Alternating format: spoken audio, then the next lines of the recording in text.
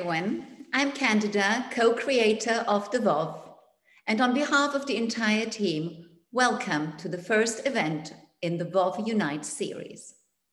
This week, we have launched the VOV, and we are so excited to present our founding 15 arts institutions united in one digital virtual ecosystem in an unprecedented act of solidarity as we embark on this new journey into the digital era where the physical and the digital coexist closer than ever, forever. Here we will experience the revival of seminal exhibitions from the archives, revisiting these shows virtually for the first time since their original showcase. So enjoy the VOV, all it has to offer from the comfort of your sofa in your own time, which also is the moment for me to invite you to donate what you can to the VOV with all raised funds equally shared between the participating institutions to raise money for the art sector during this time and far beyond. The link to donate will be posted in the chat. Alongside season one, we are hosting a series of exciting events called the VOV Unites, which aims to complement the fantastic exhibitions which we are spotlighting. We hope these events will open conversations with a variety of different sectors and introduce new perspectives. A founding principle of the is to provide a platform for people from all around the world to unite through art and culture. The VOV Unite series will take this a step further by exploring some of the many factors that unite different contemporary industries. Geographical, historical, and economic factors mean that many sectors remain inaccessible for much of the world. And whilst the VOV seeks to help solving this problem with the arts, it is a challenge that many other industries are also facing.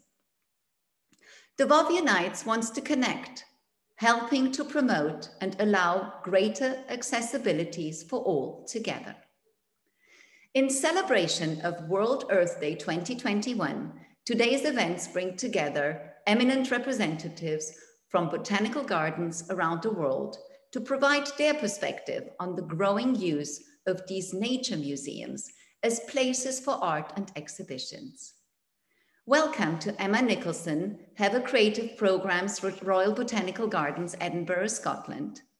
Jennifer Rominiecki, President and CEO of the Marie Selby Botanical Gardens, Sarasota, Florida. Michelle Conklin, Executive Director of the Tucson Botanical Gardens, Arizona, and our lovely moderator, Hannah Rendell, Executive Director of the Botanical Gardens, Jerusalem. Welcome also to two pioneering voices within the world of arts and ecology. Lucia Pietroiusti, Curator and General Ecology Curator, Serpentine Galleries, London, UK. Alexandra Daisy Ginsberg, artist specializing on the links between nature and technology. As ever, there will be time for questions at the end, so please do pop these into the Q&A tab at the bottom of your screens. And we will get through as many as we can at the end of this conversation. Before handing over to our lovely Hannah, the moderator for today, I would just very quickly like to tell you about my very personal experience with a work of art that I saw in the context of last year's Back to Nature exhibition in the Botanical Gardens in Jerusalem that has literally changed my everyday life's experience. I have recently moved to Tel Aviv, and as you can see in the image that has popped up on our screens, the city is full of these water meters, fully exposed. I used to get very irritated as I would see many of them leaking, carelessly placed on the sidewalks, rusting away. But then I discovered in the Botanical Gardens Jerusalem the mesmerizing water fountain by artist Sigalit Landau, beautifully placed in the context of the Botanical Garden, as you can spot here on the right. Part of a fantastic exhibition amongst 16 works of art. Since that moment, the whole of Tel Aviv is full of sculpture for me. I photograph them wherever I see them. And I look for them, and I know that it was Sigalit's beautiful art, curated in the botanical gardens, sensitivity awakening surroundings, that just affected that switch in my perception and added that incredibly fun layer to my life. So, with this little anecdote, and without any further ado, over to lovely Hannah. Welcome.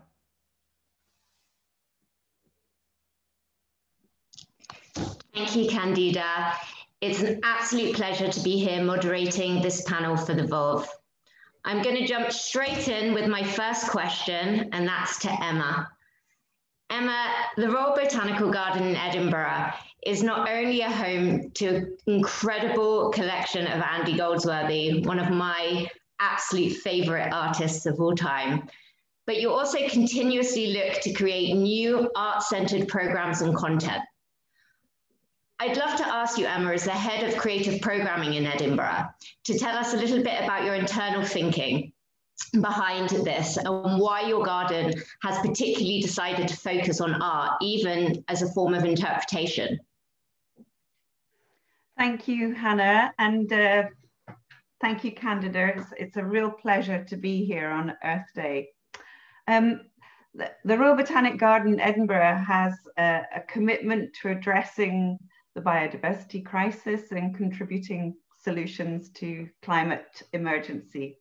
And this commitment includes its diverse range of programs, its science and education, as well as towards direct engagement with the public.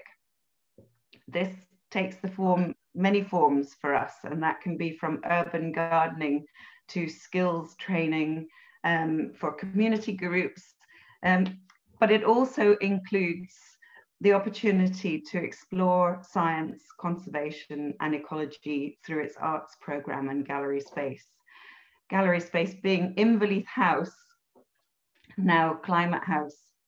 Here in Edinburgh, as a botanical garden, we have a long and unique history of working with art. And last year, thanks to the Outset Transformation, Transformation Award, saw us launch a new strategy, one that repositions our gallery, in Inverleith House, into Climate House, giving a platform for artists and audiences to connect with the climate emergency and biodiversity crisis. Creating a space for as many different voices as possible, from our own science, horticulture, international collaborators to artists. We believe that artists can help us share hidden voices voices of those less heard, voices from the archives. And the images that we're sharing with you here are a beautiful example of that. They come from an exhibition at the end of last year that we were lucky enough to open to the public, Florilegium, A Gathering of Flowers. And they are by Barbadian artist Annalee Davis, who lives and works on a dairy farm, which until 40 years ago had a long history back to 1667 as a sugar plantation. In this body of work, there are two kinds of family portrait, as well as six additional drawings on ledger paper. It's called As If the Entanglement of Our Lives Did Not Matter. And it's a very complex set of images. But in brief, these paintings are of a family group that couldn't come together because of the race laws at the time. They're surrounded with plants that have healing properties. There are plants for a broken heart, for wounds, for skin disorders. Um, and, and Annalee has placed these images of plants and roots on ledger paper, and that ledger paper is, is referencing the kind of bookkeeping tool, often um, that can be seen as symbolic of the British Empire and how it was used to measure and record. In, in, in this case, you can see that the work has been, in the cases in front of the work, you can see that it's been paired with herbarium specimens from, from our own collections. And this has helped us create a very charged weaving of the narratives and highlights for us the kind of fruitfulness that artistic collaborations and the ways in which art uh, art and plants can open up much wider conversations about the world at large. Um, so, so art plays a really important role for us in, in both in our exhibitions program and outside within the garden. Oh, thanks, Emma. That's absolutely beautiful. Um, Lucia, I'd love to bring you in here a second um, because you've been working really closely with Emma, uh, developing the program Back to Earth for the Serpentine Gallery as a celebration of both their 50 year anniversary and the Edinburgh Botanical Gardens 350th anniversary. It'd be wonderful to hear from you a bit about the thinking from the gallery perspective um, about why the collaboration with the Botanical Garden and why this partnership is so significant. Yes, absolutely. Thank you so much for the question. And it's so wonderful to be here. So thank you, Candida, and everyone at the VOV for bringing us all together. Um, so just from the point of view of a little bit of background, before this collaboration came to flourish, my role at the Serpentine as curator of general ecology was to sort of nourish this program, General Ecology, which looked to influence and in fact as a kind of prototype, an art organization with a kind of environmental mission or sense of purpose, or some kind of feeling of purpose around environmental justice and balance. And it was in that spirit and out of those kinds of long term weavings that we've been doing uh, over the last, I think, since 2018, that we grew, we planted, I suppose, the project Back to Earth uh, on the occasion of the Serpentine's 50th anniversary now 50 plus one because 2020 was really a kind of rehearsal for 2021 i think. Oh well let's hope not.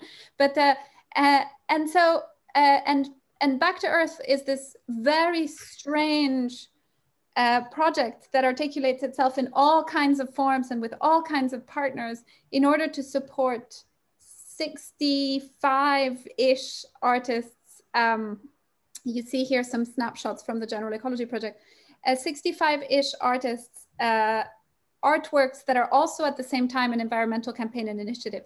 So we're very adherent to the needs of each uh, campaign and initiative in order to be able to try and realize it to the best of its kind of potential from the point of view of impact. And it was in that spirit that when we uh, that we uh, applied for Outset's transformative grant, and this kind of genius idea that uh, was this matchmaking of Climate House and the Back to Earth and General Ecology Project at the Serpentine was uh, was so so kind of pitch perfect to the intentions of the last few years of work. Not to mention the fact that without knowing it, I was already one of Emma's biggest fans because of Emma's longstanding work on the Isle of Skye um, with artist cooking sections with whom we're also working. And so it sort of came to be at a moment in which uh, we had to look at all the initiatives and all the campaigns and figure out how to best support them.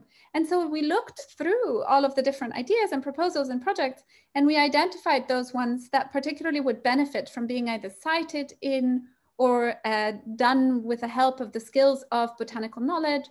So sited in botanical gardens or done with botanical expertise, or indeed uh, projects that address uh, forest uh, conservation of forest science in general.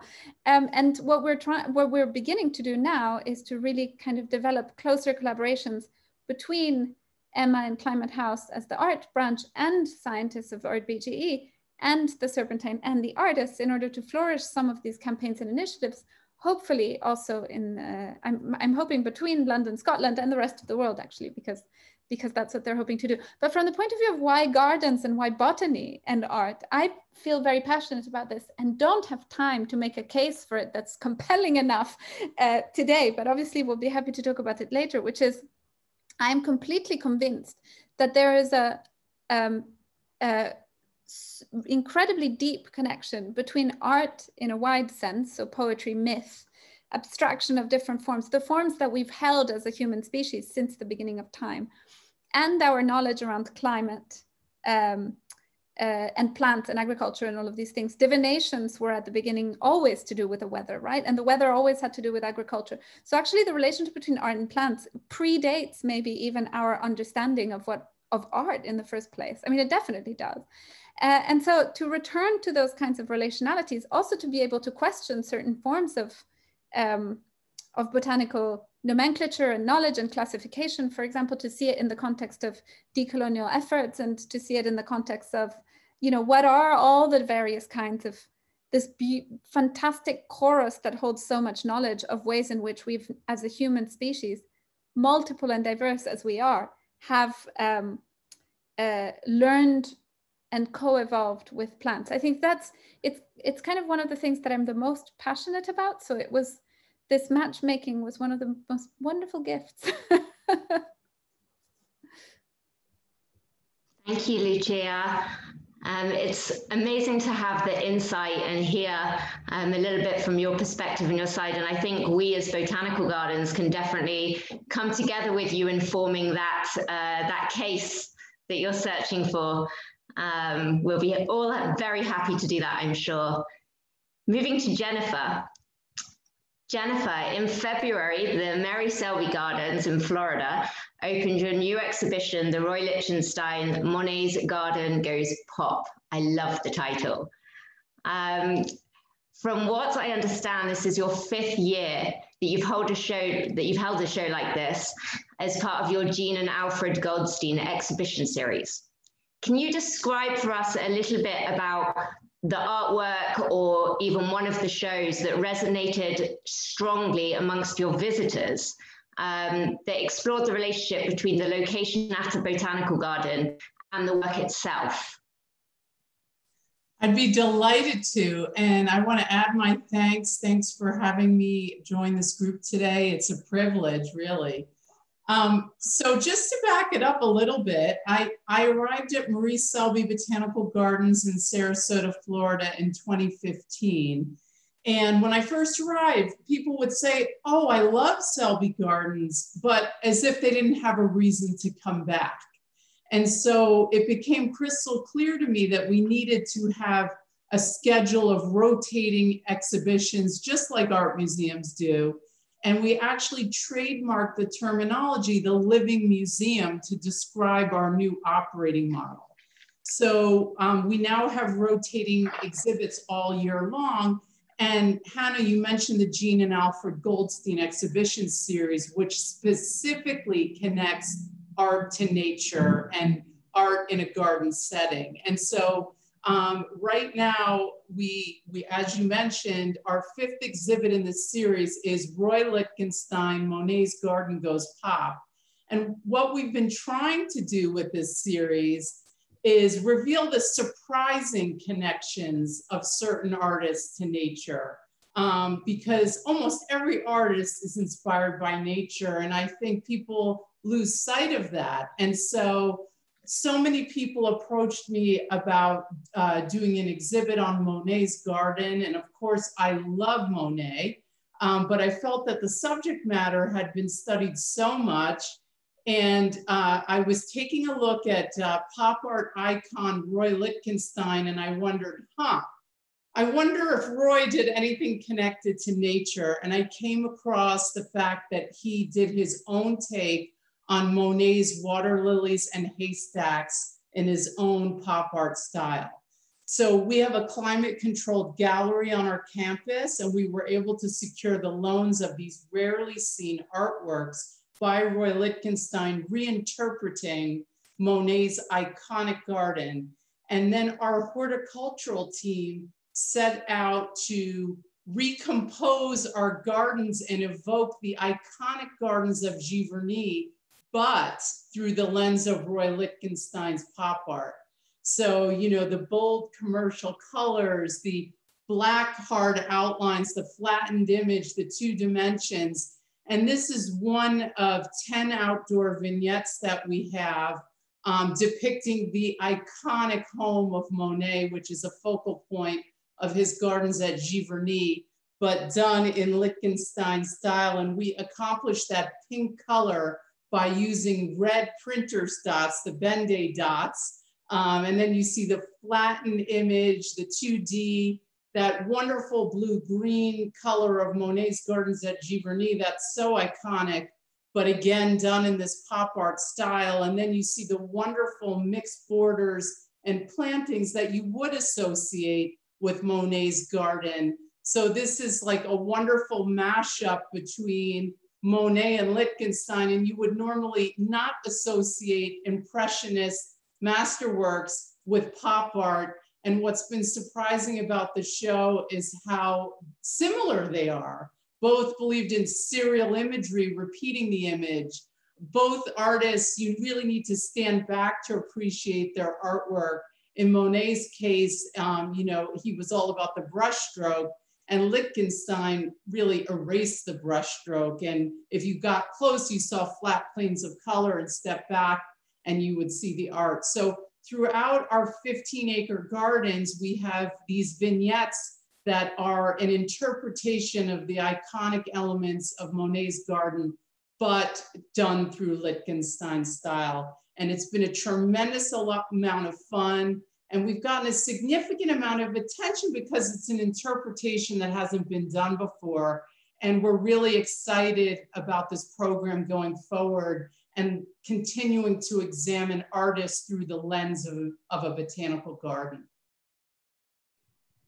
Jennifer, you um, you touched upon so many points in that that I can relate to here in Jerusalem and our garden, um, which I'm sure the other botanical gardens also.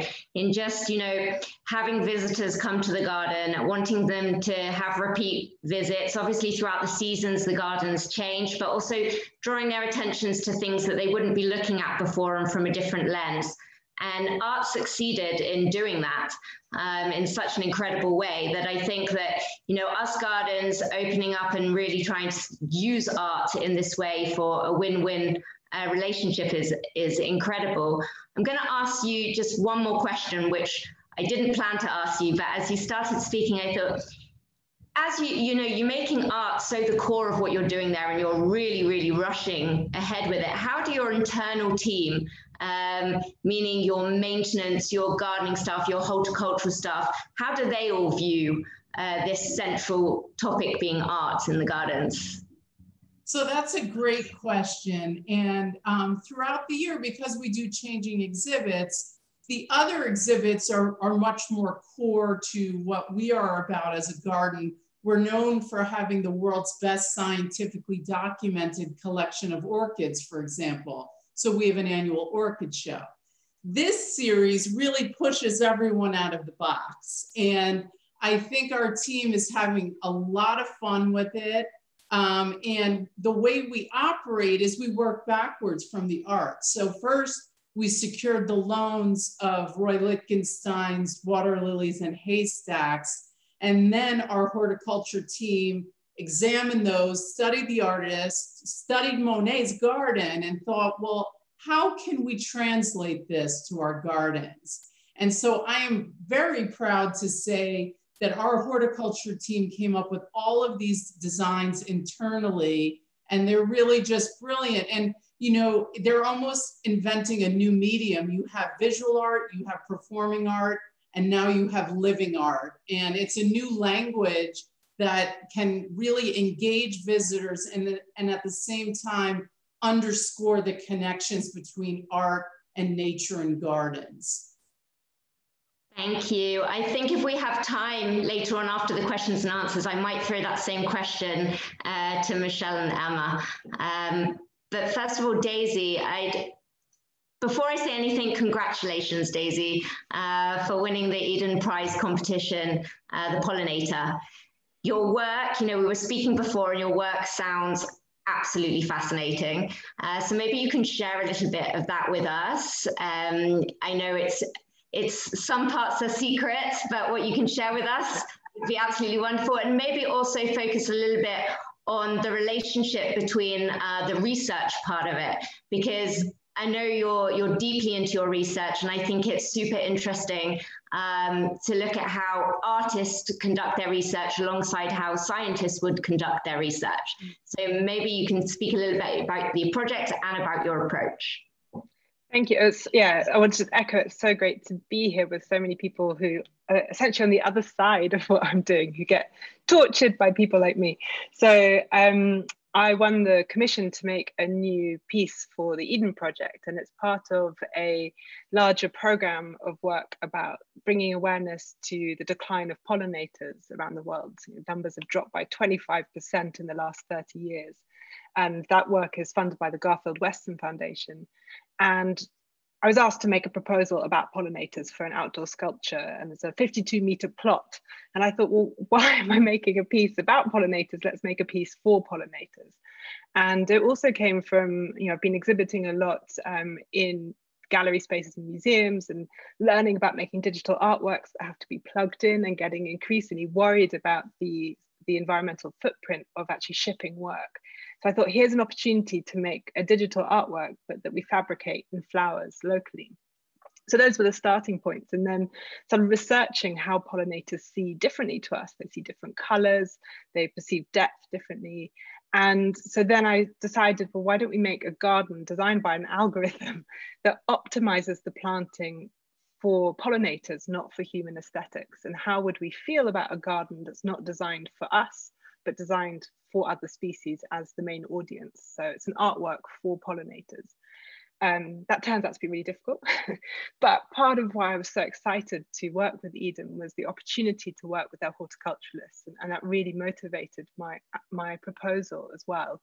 Um, I like torturing experts with questions, and um, this is just a collective piece of endeavor, I think I should say, because first of all we develop a plant palette, and we're working on the first one, which is a UK plant palette. And every plant is researched to be verified as good for pollinators. And so many of the things we might have in our gardens we think are beautiful, but may have been bred to not actually optimize for pollinators. So they may smell better or have more petals and be more beautiful. So we create this list that we know is good for pollinators. And then the algorithm um, starts to optimize. So we maximize blooming over the year, we maximize the diversity of pollinators, balancing out who gets served, and then arrange the plants in a way that um, caters for the different flight patterns of different pollinators. And then because it was lockdown when I proposed this last year, I couldn't even buy seeds because it was the garden centers were shut. I thought, well, why don't, you know, we can't travel, but data can travel, seeds can travel, and pollinators can travel. So why can't we put this online and actually create a website where anyone can use the same algorithm? And what I want to do with this experiment is actually create um, a different kind, a more altruistic model for an artwork. Um, so we're working with Google Arts and Culture and the Gaia Art Foundation now to make this interactive website where people can design their own garden using the same tool um, and then plant it if they have space or if they can find a community space. And then the idea is to commission more of these gardens in other countries and through that model create new regional plant lists that then are donated back to the website. So seeding more artworks for pollinators in each location um, and so just creating this collaborative network in a, in a different model, perhaps to the way we normally see art in a museum, where it's commissioned by a museum and it's the first showing. Instead, we're doing this whole thing as a collective effort to uh, try and make space for pollinators and allow people to think about um, the world from the perspective of pollinators and plants and their interactions. So it's crazy seemed like a good idea last year and it, it's um, just phenomenal the amount of research and experts that we get to talk to everyone from people who study the, the ways that pollinators see or fly um, to the even amazing horticultural team. Wow. I'm blown away. Um, you know, it's also interesting to hear about it from the research perspective because so many horticulturalists and scientists are working, you know, following pollinators and studying them to be able to to do that from an artist's perspective and present that in such a interesting and accessible way um, is is mind blowing. So we can all, I'm sure, understand why the judges chose this. Uh, it will be launching in September, so everyone, hopefully, the proof will be in the pudding when you play with it on the website. So, well, there's um, this there's also the research part, which you you know which you've done up until now. So I believe the proof is already there uh, to some extent. well done. Um, Michelle, I'm going to move on to you. Hi, Michelle. Thank you so much for joining us. Um, as the executive director of Tucson Botanical Garden, you yourself, and I know this firsthand, are extremely driven into pushing a rich art centered agenda there. In your opinion, how has art been used to communicate or educate issues surrounding climate change, biodiversity, or food security? I know we heard a little bit from uh, Daisy just now on how that's possible. Um, I'd love to hear again from the garden perspective, just either an example or something you've seen or shown at the gardens where you feel this, these messaging have really had a strong impact. Well, it's interesting because when I was asked to think about that, thought it's almost like how do you pick between your favorite child? Every exhibit brought something completely unique and spoke to people in a completely different way. You know, our story is similar to Jennifer's in that in 2015, we began the model of bringing and rotating exhibits, and it was just transformative, not only for our garden, but for the public. People who had never been to the garden who had never been to a garden came. And it was so impactful that three years ago, our board of directors decided to change our entire mission statement, which was really focused on living appropriately in a desert environment. It was very long, I could never remember it. Um, and today it really reflects our purpose, which is to connect people with plants and nature through art, through history, through science, and through culture. You know, we're not a research garden, we're a small midtown Tucson in the city garden filled with 17 pocket gardens. So we were formed by a family who were naturalists, and the wife was an artist. So um, when we think of how to get those messages about climate change and biodiversity and all those really important topics, the, the reality is, is that sometimes those are words, they're very abstract to the general population. And we believe that people love and protect things um, that they grow to love and that they understand. And doing that by blending art and gardens, you know, we have found that we can turn those non naturalists into nature appreciators because they will come once for the um, exhibit, but we have found that they come four to five times after that to see the exhibit. Oh, but to discover the pollinator garden. And we want to do that in our backyard. And oh, I didn't know you could grow herbs in Tucson. And what kind of organics do you use? I mean, it just opens up a, a bevy of questions and, and inspiration. Um, you know, the, the pandemic right now has also really highlighted that gardens and nature are more important than ever. And through this, I think we've worked so hard with this mission and with connecting people through art to nature, the letters we've received have been um, astounding. Uh, people saying, I cannot imagine my life without the ability to go to the garden, to, without, when are you bringing back an exhibit? It's been really uh, transformative. I think taking these spaces and bringing art into them really completes that immersive experience and when you do that, you're teaching people to love and to appreciate and to care about the things that are important on this earth. Michelle, you led so perfectly into my next question. Um, but first, I want to ask you: Did I did I hear you say at the beginning that your founders of Tucson Botanical Garden was um, were was married to an artist? Yes, the, the founder was a nursery manager. He was he started the first nursery, and his wife was a naturalist and an artist. And um, I have Mrs. Porter, our founder's journals um, and drawings, and wow. she dreamed the space becoming a botanical garden. So, it you know, so often gardens are stories about people as much as they are about the plants. So, it just it's just a um, a beautiful symphony. So the marriage between uh, botanical gardens and art was there from your birth there in Tucson. So that's that's a really nice story. Um, so it leads perfectly, as I said, into the next question, which is for all of you. So I'll ask you each individually, but I'll, I'll just ask now. Um, what do you think are the most important ways in which an artist and a botanical garden can work together to create the most thoughtful, authentic meeting point especially in the change and the face of the global pandemic? Uh, and this is a question really directly related to our communities and those serving, the, those we're serving. Um, so I'll start with you, Jennifer.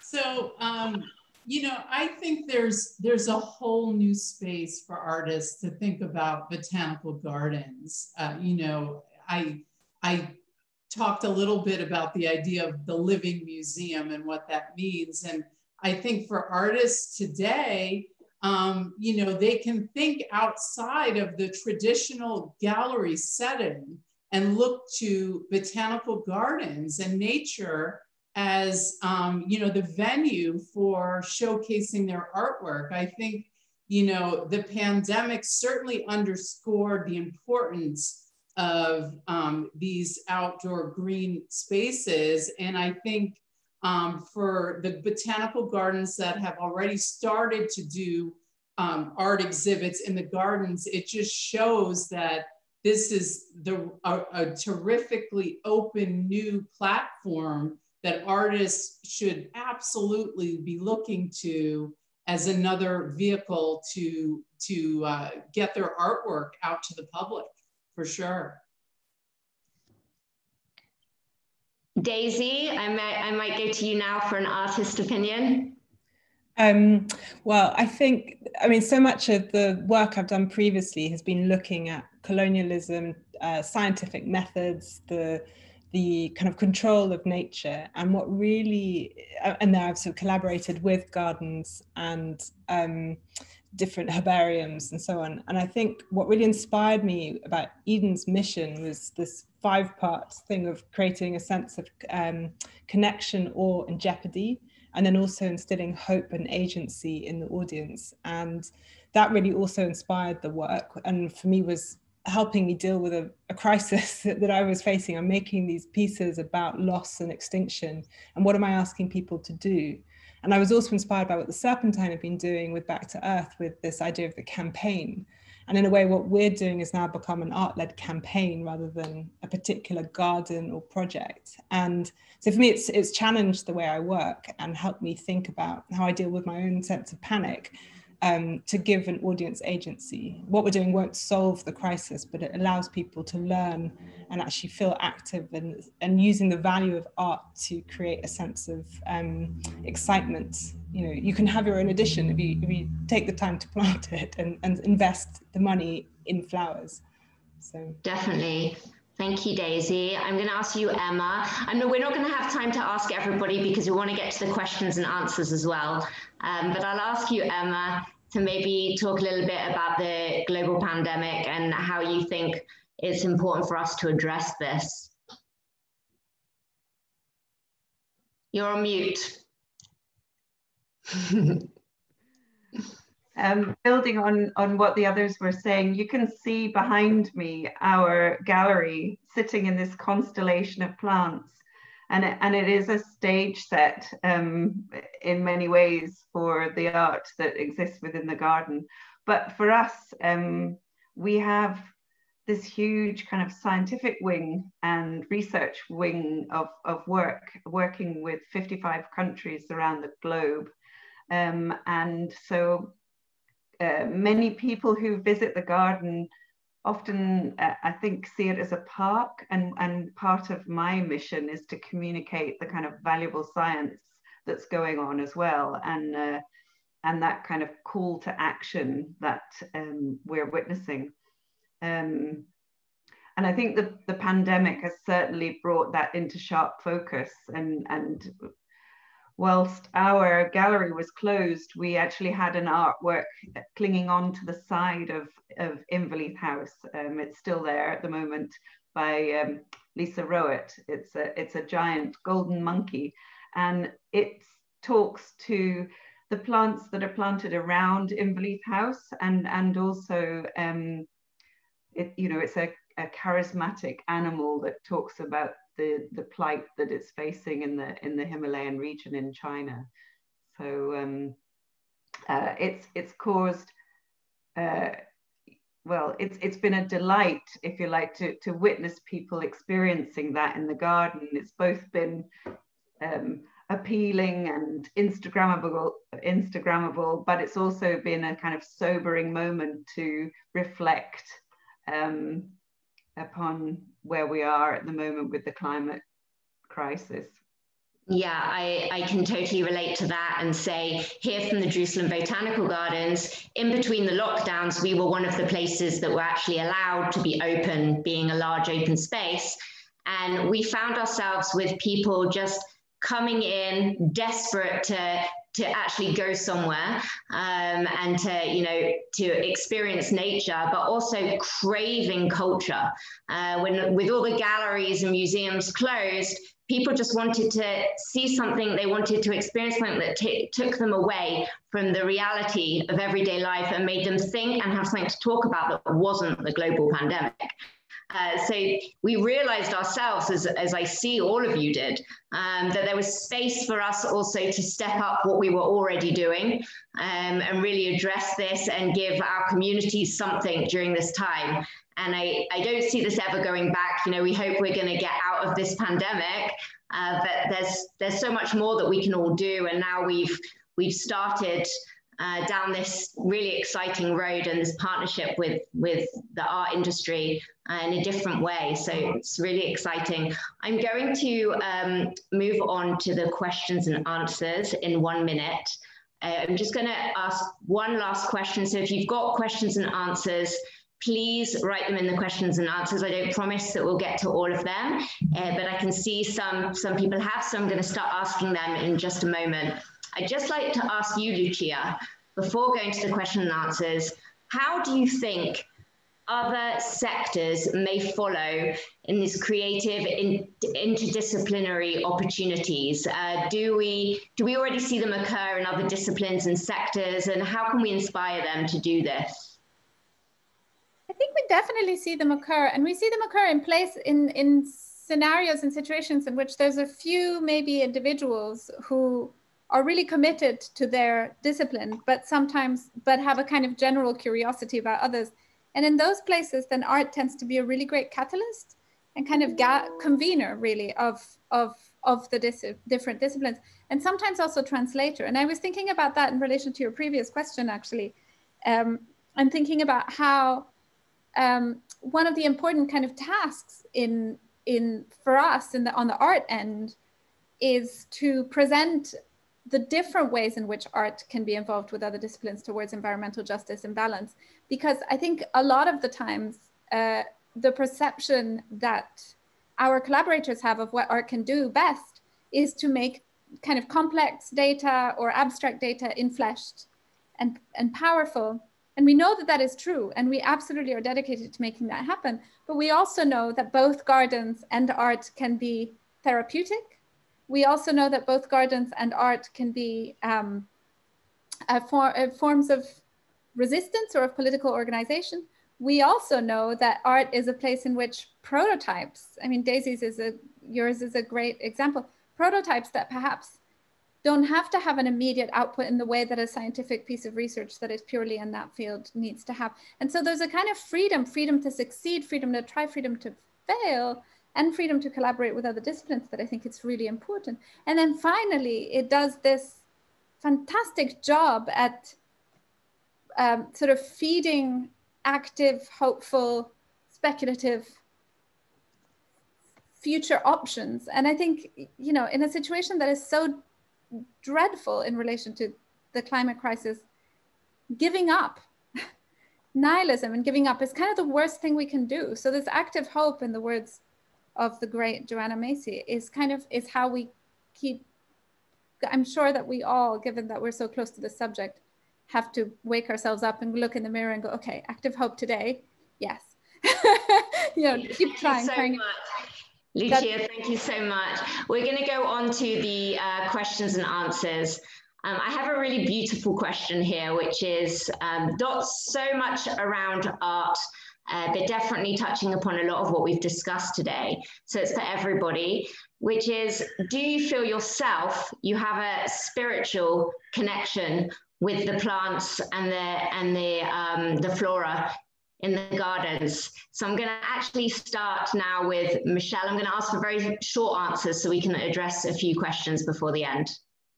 Uh, absolutely. It came, to, it came to light in the pandemic when we were closed for three months.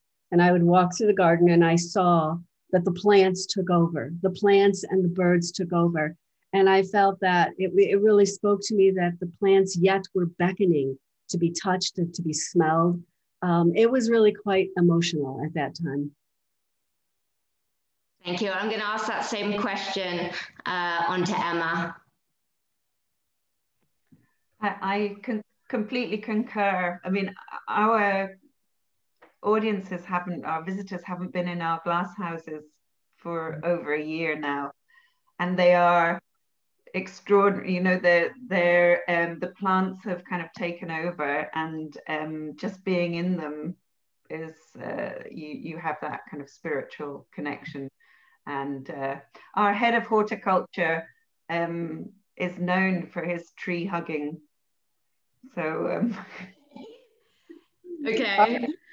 More questions about that later emma. So the next question coming in, which is a really nice one also, uh, asks, when you take an object, so we're talking about work that wasn't site specifically created for a natural environment or the gardens. When you take an object from a museum or a gallery space and you place it inside the gardens, what kind of changes do occur? Uh, what do you notice changes in your experience and how does the viewer experience that work differently? Um, I'm going to go to uh, Jennifer with that.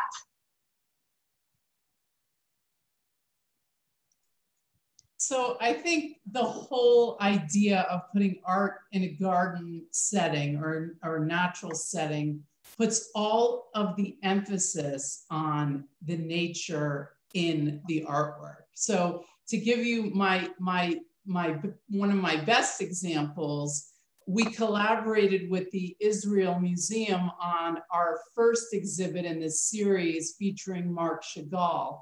And Marc Chagall had been studied, of course, many, many times, but never in the context of his connection to flowers and nature. And when you look through the body of his entire work, the flowers are always there. You know, they really represented the joy in life amidst all the sorrow and struggles. And so I think the lens of a botanical garden creates an entirely different way of looking at art. Thanks, Jennifer. I'm going to ask you, um, Emma, to also answer that question.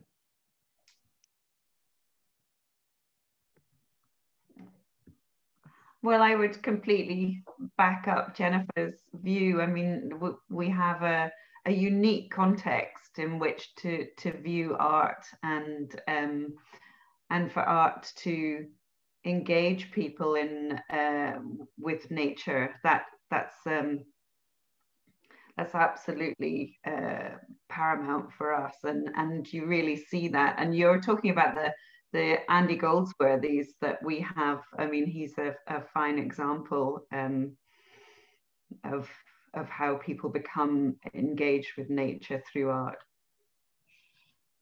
Lucia, um, there's a question for you here that's come up. How has the art world adopted an emerging focus on environmental environmentalism in all sectors?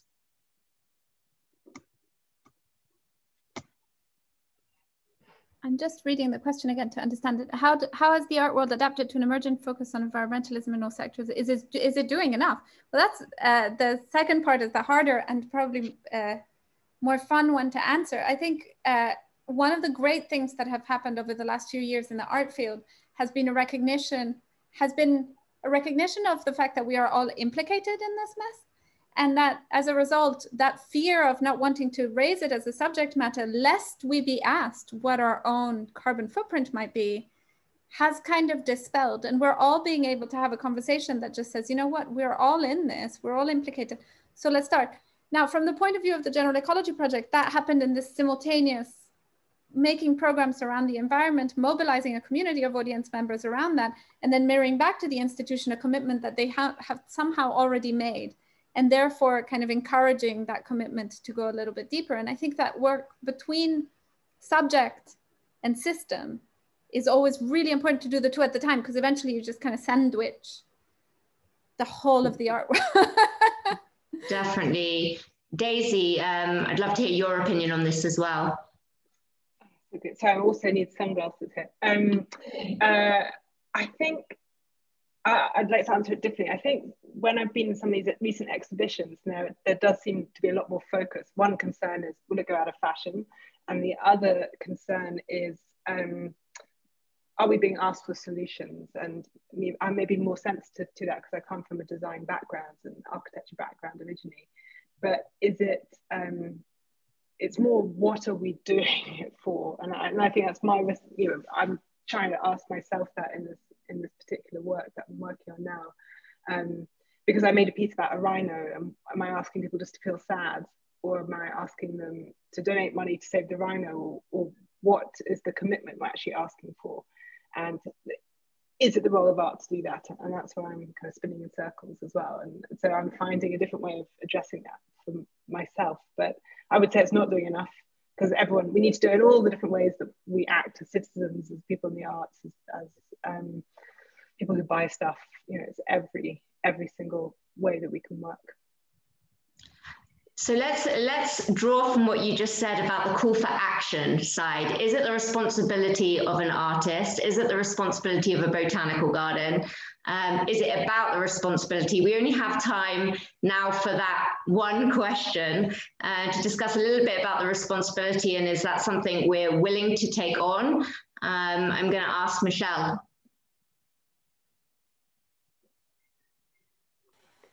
Yes, I absolutely believe. I mean, we all have that responsibility, and by working through these unique, creative ways, you know, everyone has a different method of learning and taking in information and what evokes that emotion in you. And, and it is our responsibility to find those connectors in any way possible through plants, through nature, through arts.